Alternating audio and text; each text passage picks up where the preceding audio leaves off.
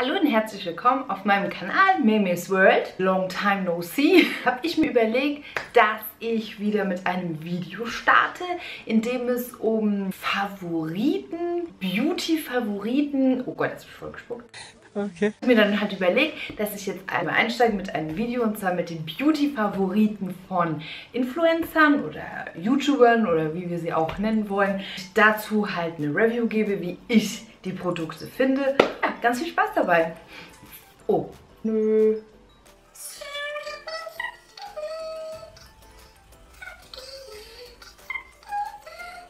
Fangen wir an jetzt zum Beispiel mit Produkt von Semi Slimani.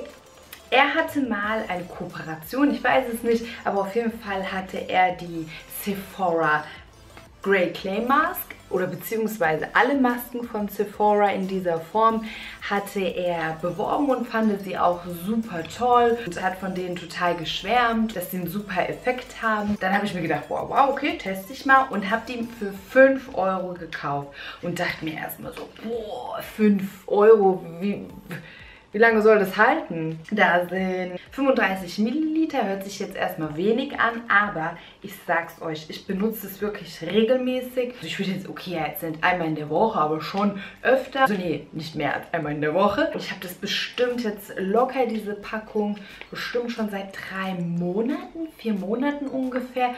Und also ohne zu lügen, die ist noch halb voll, die Verpackung. Und ich benutze die großzügig. Also da ist wirklich noch extrem viel drin.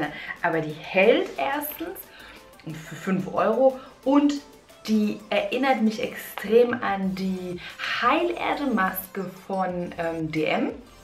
Moment. Die Heilerde-Maske von DM beziehungsweise von Luvus. Da sind zwar 15 Milliliter drin. Ich finde, die kann man auch locker auf zwei Male aufteilen, aber das ist schon extrem viel. Aber von dem hier braucht man irgendwie nicht, also ich weiß nicht, es hält bei mir ewig. Ich habe sie bestimmt schon oft benutzt. Und ich finde, die Haut fühlt sich danach auch echt gereinigt an, fühlt sich gepflegt an, auch nicht so angegriffen oder ausgetrocknet oder so. Also sie ist wirklich sehr, sehr, sehr gut. Also da muss ich sagen, Sammy Slimani, sehr gute Empfehlung. Also das könnte ich jetzt auch empfehlen und würde auch sagen, das war jetzt nicht irgendwie nur Humbug und eine schlechte Werbung oder so. Also ich finde es wirklich, finde sie gut. Als nächstes, bleiben wir doch mal bei so Pflege, ich habe jetzt nicht genau einen YouTuber oder einen Influencer, der jetzt dieses Bioderma ähm, empfohlen hat, weil es echt gefühlt irgendwie jeder Influencer war. Es ist natürlich ein bisschen abgeklungen. Es hat eine Zeit lang, ich glaube so vor einem Jahr oder so, hat jeder irgendwie nur noch darüber gesprochen. Ich bin Spätsünder und habe das mir jetzt erst im Februar gekauft ungefähr. Das ist ehrlich gesagt schon die zweite Packung. Das hält auch ewig. Das hält ewig. Das, also ich benutze das nur als ersten Step. Also es ist jetzt nicht die meine Reinigung letztendlich, sondern ich benutze erstmal sowas statt ähm, Reinigungstücher, weil ich finde irgendwie Reinigungstücher, ich habe so das Gefühl, die greifen irgendwie die Haut total an. Und dafür benutze ich dann halt dieses Bioderma mit Zellen-Reinigungswasser, das ist extra für sensible Haut. Und mm, das wirklich, das nimmt echt total die erste Schicht schon mal wirklich total gut runter. Das gibt wirklich, also es ist echt super. Da muss ich auch echt sagen, also da haben auch die ganzen Influencer wirklich nicht gelungen. Es ist tatsächlich total gut, ja. Könnte ich auch weiterempfehlen. Dann als nächstes hat Tamtam Beauty hat die Creamy Eye Treatment with Avocado von Kiehl's empfohlen. So sieht sie aus. Die hat sie auch empfohlen und hat sie auch sogar als ihre Favoriten erst vor kurzem in Videos gezeigt gehabt. Und dann habe ich mir gedacht, okay, gut, ja, testen wir mal, weil ich probiere gerne Augencremes aus. Also ich hatte die ganze Zeit die von Kiels, die hat äh, von Clinique, die hat sie auch empfohlen. Die habe ich dann auch gekauft, die ist auch super. Dann habe ich jetzt halt, weil die dann von Clinique leer gegangen ist, habe ich mir gedacht, okay, kannst du nachkaufen. Habe ich mir gedacht, kannst du auch mal nachkaufen. Die Clinique war ja schon gut. Dann habe ich jetzt auch diese Kiels Creme gekauft ich meine, Anna-Maria Damm hat die auch in ihren Favoriten gehabt und die ist wirklich super. Die hält auch lange, wobei ich sagen muss, die von Kiels hält länger. Von Klinik, jetzt sage ich die ganze Zeit Kiels. Die von Clinique finde ich persönlich hält länger. Die sind beide gleich teuer, aber die, die ist auch wirklich super und die hat auch meine Augen total gut gepflegt. Ich bin ja auch nicht mehr die Jüngste, ne? Und ich muss sagen, äh, fühlt sich super an und ich habe auch nicht mehr mit trockener Haut zu kämpfen. Also die hier, wer Augenringe hat und trockene Augen oder irgendwie so unter den Augen alles ein bisschen trockener ist, würde ich auch auf jeden Fall sagen, hier diese Kielscreme, Tamtam Judo hast du gut empfohlen. Als nächstes bleiben wir bei Kiehl's. Hat auch erst vor kurzem, ich glaube jetzt diese Woche, hatte Dagi B ein Video hochgeladen und hatte ihre Abschminkroutine gefilmt und hatte dann als Creme auch gelobt, beziehungsweise auch gesagt, dass sie sie regelmäßig benutzt. Von Kiehl's die Ultra Facial Cream. Da hat sie gesagt, dass sie sie auch jeden Abend, glaube ich, benutzt oder jeden Morgen. Ich bin mir nicht mehr sicher. Müsste man das Video jetzt nochmal gucken, ich weiß es nicht mehr genau. Aber sie hat auf jeden Fall gesagt, dass sie sie jeden Tag benutzt und sie total liebt und alles drum und dran und auch ein mega Fan von ist und auch schon seit Jahren. Und ich muss sagen, ich hatte die jetzt auch, auch weil andere Influencer die empfohlen hatten, ich meine auch Anna-Maria Damm hatte die empfohlen, keine Ahnung, also wirklich etliche wieder. Und dann hatte ich die auch mir dann mal gedacht, okay, weil ich auch noch nicht so zufrieden mit meiner Abendroutine letztendlich irgendwie war, habe ich mir gedacht, hole ich sie noch zusätzlich zu meinem Serum. Das ist eine super Kombination. Also wirklich, ich benutze erstmal mein, ähm, abends mein Serum und mache das dann noch oben drauf, drüber. Es ist so super, wirklich. Also meine Haut fühlt sich super gepflegt an, nicht überpflegt. Super für trockene Haut kann ich das auch wärmstens empfehlen. Also es ist wirklich top. Man wacht morgens auf und richtig so aufgeplustert und alles fühlt sich total toll an. Also da muss ich auch sagen, dass Dagi hier was Gutes empfohlen hatte. Also, oder hat. Also Video ist ja erst aktuell. Also kann ich auch sagen, super, super, super. Als nächstes auch von Dagibi, aber das ist direkt von ihr, ja. Sie hatte das Got to Be mit Schwarzkopf, dieses Trockenshampoo auf den Markt gebracht. Also das ist auch Fresh Bee. So sieht das aus. Das hatte ich mir, ich weiß gar nicht, ich habe halt ein neues Trockenshampoo gebraucht, habe mir gedacht, irgendwie war dann dieser riesen Aufsteller von Dagibi mit diesem Salzspray, dem Trockenshampoo und noch irgendwas meine ich. Aber ich bin mir nicht mehr ganz sicher. Oh, eine Hummel oder eine Biene. Oh. Naja, hatte ich dann, habe ich mir gedacht, kannst du ja mal kaufen, warum nicht? Weil ich glaube, ich hatte schon mal was von ähm, Gat2B, ein Trockenshampoo, das fand ich gar nicht mal so schlecht. Da habe ich mir gedacht, komm, jetzt muss ich noch mal überlegen, wie riecht denn das? Ah, genau. Das riecht richtig, richtig, richtig, richtig lecker. Mega frisch. Ich muss sagen, bei mir helfen viele Trockenshampoos nicht, ehrlich gesagt. Ich weiß auch nicht, entweder habe ich zufällige Haare, ich weiß es nicht. Genau, also noch ein anderes, das ich super finde. Aber ich muss sagen, das da hier, wenn man das benutzt, wenn die Haare leicht fettig sind, ist es super. Also dann sehen die Haare auch wirklich aus wie frisch gewaschen wenn meine Haare schon dann so also äh, extrem fettig sind und ich das benutze, fand ich es nicht so hilfreich. Also wie gesagt, vielleicht waren dann auch meine Haare zu fettig, aber wenn sie leicht gefettet sind und ich das dann halt benutze als Trockenshampoo, ist es super. Also das nimmt dann wirklich diesen Fett auch, dieses Fett auch raus. Die Haare fühlen sich nicht so ekelhaft an, sie sehen nicht so trocken aus. Also für leicht gefettigte Haare finde ich es super. Aber wenn man halt so extrem fettige Haare hat, wie gesagt, ist es nicht so hilfreich. Aber ansonsten ist es auch echt ein gutes Produkt und jetzt auch in der Drogerie. Also das ist... Und es riecht lecker. Als nächstes hatte jetzt vor kurzem Mrs. Bella ein Video rausgebracht, auch mit ihren, ich glaube, Sommerfavoriten. War das das jetzt? Da wollte, hatte sie auch diese Origins Tinted Moisturizer, diese, ähm, diesen Tinted Moisturizer empfohlen. Wollte ich mir bestellen, weil er einfach ausverkauft. Mir so, supi. Naja, werde ich auf jeden Fall nächstes Mal versuchen. Und sie hatte dann auch diesen Dior Lip Maximizer in die Kamera gehalten, hat auch gesagt, das ist ein Favorit von ihr, also top, top, top, top, top. Und das hatte sie schon in vorherigen Videos auch schon bereits erwähnt. Äh, genau, es sieht übrigens so aus. Tolle Verpackung, sieht mega luxuriös aus. Also hier ist dann auch so Dior so eingestanzt in, die, in das Glas oder was auch immer das ist. Und das da hier ist so leicht minzig und prickelnd auf, der, auf den Lippen, wenn man das benutzt. Also ich will es jetzt nicht benutzen, weil sonst wird dann das so rot, der Lipgloss dann hier drin, weil ich ja roten Lippenstift, um schwer zu erkennen, drauf habe. Also das riecht angenehm, so, so frisch und minzig und wenn man das halt drauf macht, dann prickeln schon die Lippen total und hat so einen leicht plusternden Effekt, wie die von Too Faced, glaube ich, sind es.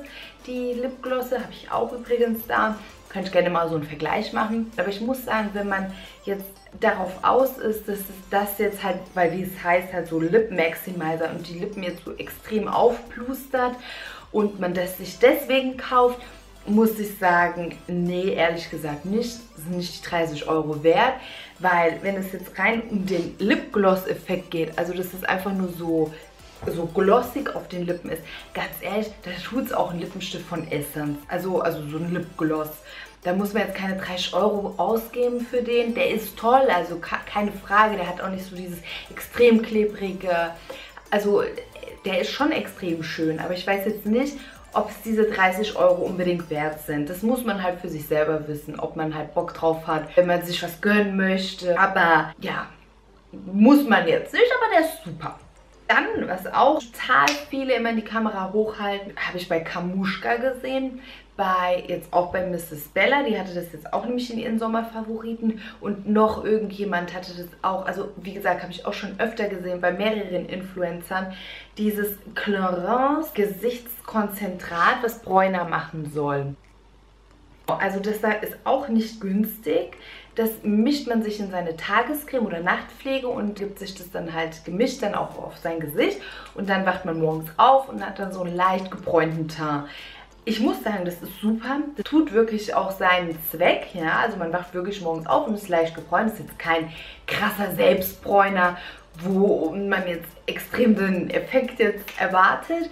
Aber es tut schon seinen Zweck. Aber ich habe bei DM jetzt auch schon länger etwas getestet, was ähnlich ist, beziehungsweise genau denselben Effekt hat und einfach nur einen Bruchteil davon kostet, weil ich weiß gar nicht, wie teuer das ist, aber ich glaube 20 Euro und beim DM gibt es etwas für 5 Euro. Wer gerne wissen möchte, was es ist, gibt mir einen Daumen nach oben, dann kann ich gerne das in einem anderen Video gerne zeigen, welches, also was für ein Dupe ich dazu habe. Aber wie gesagt, also das ist auch eine Empfehlung, würde ich mir auch, nee, würde ich mir nicht nachkaufen, weil ich ja das von DM habe, also weil es genauso ist und halt nur 5 Euro kostet statt 20 Euro und wesentlich mehr drin ist. Aber vom Prinzip her ist es schon eine coole Sache und eine Top-Empfehlung, wenn ich nicht das von DM hätte. Ansonsten ist es super und ich finde auch das Prinzip auch toll, aber wie gesagt, das von DM ist halt günstiger und tut genau dasselbe. Also wie gesagt, gebt mir einen Daumen nach oben, dann zeige ich es euch gerne.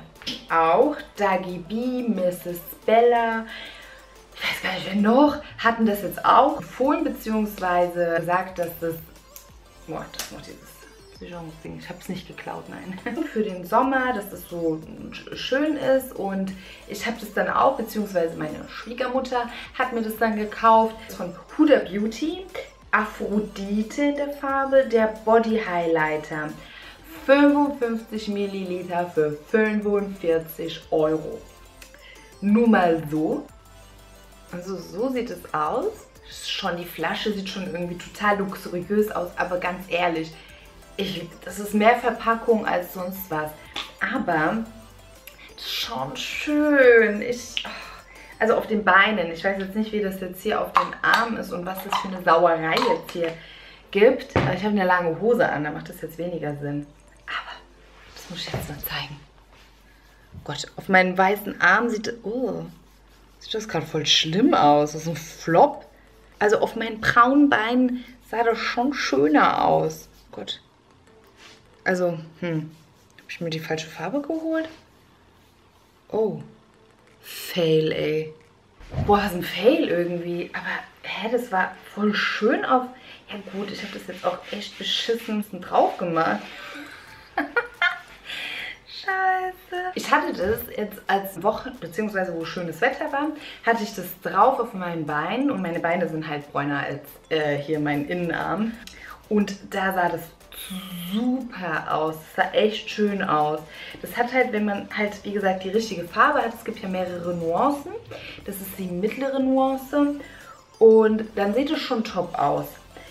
Wie gesagt, ich weiß jetzt nicht, ob ich die 45 Euro auch da gerecht finde, aber man muss auch dazu sagen, es gibt keine Alternative jetzt in den Drogerien, soweit ich es weiß. Wenn ihr eine Alternative zu so einem Body Body Shimmer Highlighter kennt, könnt ihr mir die gerne in die Kommentare schreiben. Es würde mich total interessieren. Ansonsten, das jetzt auch mal geschafft. Das hält auch extrem gut. Also wenn ihr dazu gerne ein Video hättet, wie das auf den Beinen aussieht, die Dauer, die, wie lange das hält und so weiter und so fort, kann mir auch, wie gesagt, auch gerne hier einen Daumen nach oben geben. Dann kann ich auch gerne ein Video oder beziehungsweise so eine Review zu dem Produkt geben. Aber so an erster Stelle, wie das jetzt, wie das empfohlen worden ist, also es ist schon, also es ist schon schön, es ist extrem teuer. Aber es ist keine Verarschung. Also es ist eine gute, eine gute Empfehlung, die auch hier wieder Influencer gegeben haben, muss ich ehrlich sagen. Ist schon ein gutes Zeug, aber muss man auch da halt wieder wissen, will man diese 45 Euro ausgeben oder nicht.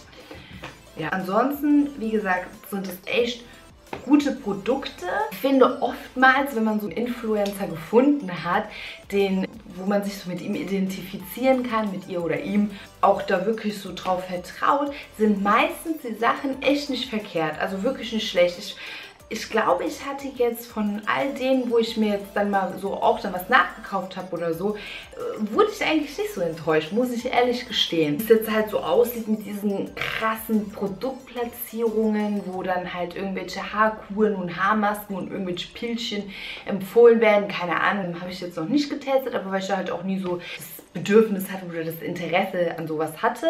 Aber wenn ihr gerne Bock auf so eine Art Video habt, wo ich diese Product Placements teste, könnt ihr mir auch, wie gesagt, auch gerne einen Daumen nach oben geben oder das in die Kommentare schreiben und dann könnt ihr auch gerne dazu ein Video drehen.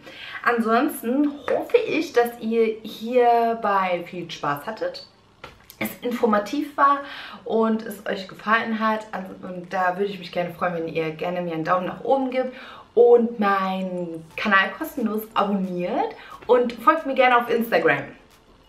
Mein Name ist hier eingeblendet, hoffentlich.